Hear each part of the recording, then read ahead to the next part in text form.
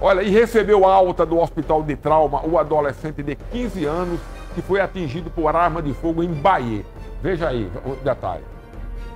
Um menor de idade, 16 anos de idade, que não teve o nome revelado, foi socorrido aqui para o trauma depois de ser levado inicialmente para a UPA na cidade de Bahia. O que acontece? Ele estava no campo ali no Alta Boa Vista, na cidade francesa, quando homens em uma motocicleta se aproximaram e começaram a atirar contra os rapazes. Um desses tiros atingiu um dos braços dessa vítima menor de idade, como você vê aí nas imagens do nosso Ramon Mota. Foi socorrido numa ambulância da UPA de Bahia e transferido aqui para o trauma. Chegou aqui consciente orientado, conversando, inclusive reclamando bastante, porém né, não deu informações concretas.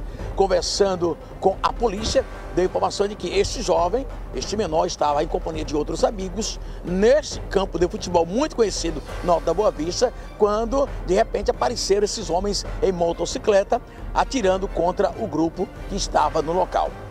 Um desses disparos, repito, atingiu um dos braços dessa vítima menor de idade. Ele foi levado para a área vermelha e, e depois para o bloco cirúrgico para a retirada do projétil que ficou alojado no braço.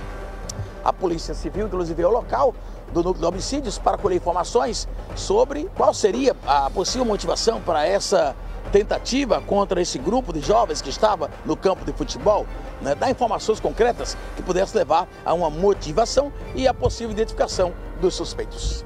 A polícia investiga o caso. Com imagens de Ramon Mota, repórter Rubem Júnior, o Bonitão para a TV Arapuã Band, o melhor da gente.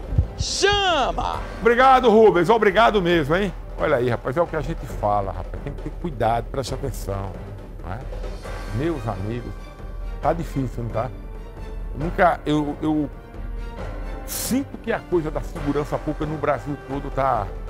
Eu tenho um irmão que mora no Rio, ele tem uma empresa, um ateliê, as bordadeiras dele, as costureiras estão pedindo para dormir lá no ambiente, porque não, não querem voltar para os locais onde elas vêm, com medo de bala, de tiro. Que ponto nós chegamos, hein?